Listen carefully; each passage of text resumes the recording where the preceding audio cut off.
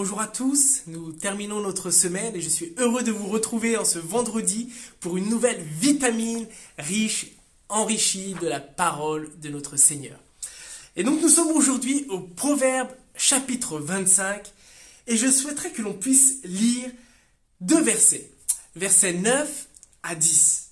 Proverbe 25, 9 à 10, qui dit la chose suivante. Règle ton différend avec ton prochain et ne va pas révéler les confidences d'un autre. Sinon, il pourrait l'apprendre et t'injurier. Et tu perdrais définitivement ta bonne réputation. Il y a dans ce passage, dans, ce, dans ces deux versets, je trouve des principes relationnels essentiels et vitaux pour nous. Le premier se trouve au verset, au début du verset 9 avec cette phrase, règle ton différent avec ton prochain.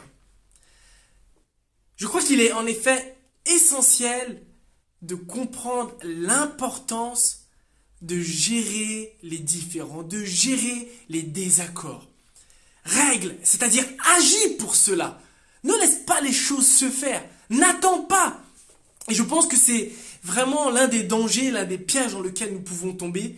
C'est une attitude attentiste, voire parfois la fuite, en pensant que le temps va permettre de résoudre. Le temps ne résout rien. Bien au contraire, souvent aggrave, enracine des mauvais sentiments dans le cœur. Et, Jésus va reprendre ce principe, ou dirais-je, va l'éclairer, va lui donner un sens encore plus grand en Matthieu 18, où en effet, il, aborde toute cette notion d'aller vers son frère et de pouvoir en effet aborder ces différences, ces différents dans une saine attitude.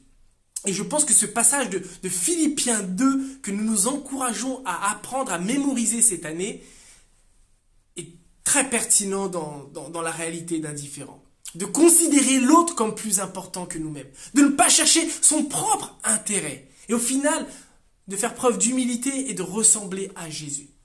Mais ce premier principe relationnel est vraiment un défi. Je ne sais pas si c'est le cas pour vous, mais je pense que puiser dans notre capacité dans le Seigneur est essentiel pour justement gérer cela de manière qui honore notre Seigneur. Le deuxième principe relationnel de ce passage est dans la suite. Ne va pas révéler les confidences d'un autre. Je crois qu'il est important de, de comprendre que nous devons être des personnes dignes de confiance. Lorsque quelqu'un se confie en nous, c'est qu'il y a une forme de confiance pour qu'elle puisse se livrer. Et il n'est pas juste, il n'est pas bon de révéler des secrets. Et je ne sais pas si, vous voyez ce lien comme moi, mais très souvent lorsqu'on a un différent avec une personne, il peut arriver que par motif de vengeance ou autre, des personnes vont aller révéler un secret. Ah, et puisqu'il m'a fait ça, eh ben moi je vais aller dire telle chose sur elle. Et, en fait, cela est destructeur. Le fait déjà de révéler un secret blesse, mais par réaction, par motif de vengeance, cela est malsain. Je pense qu'en effet, nous devons être dignes de confiance. Et une chose qu'une personne nous a confiée, nous devons les garder. Peu importe les différents, peu importe les circonstances, nous devons apprendre à conserver cela pour maintenir l'unité, pour maintenir la relation, et non pas pour détruire et pour blesser. Je pense que ces, deux principes, en effet, de gérer les différents et d'être des personnes dignes de confiance, nous aident à entretenir de saines relations.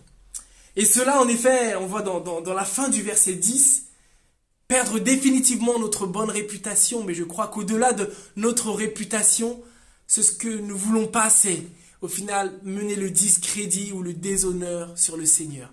Parce que tout ce que nous faisons, c'est en son nom. C'est pour sa gloire. Et je pense que c'est essentiel que dans nos relations, nous puissions maintenir une bonne attitude, un bon comportement, d'être dignes de confiance, et cela pour la gloire de notre Dieu. Que l'Éternel nous aide à, être des artisans de paix et à mettre en application ces principes, parce que les connaître c'est bien, les mettre en pratique, c'est mieux. Que l'Éternel nous aide, mes amis.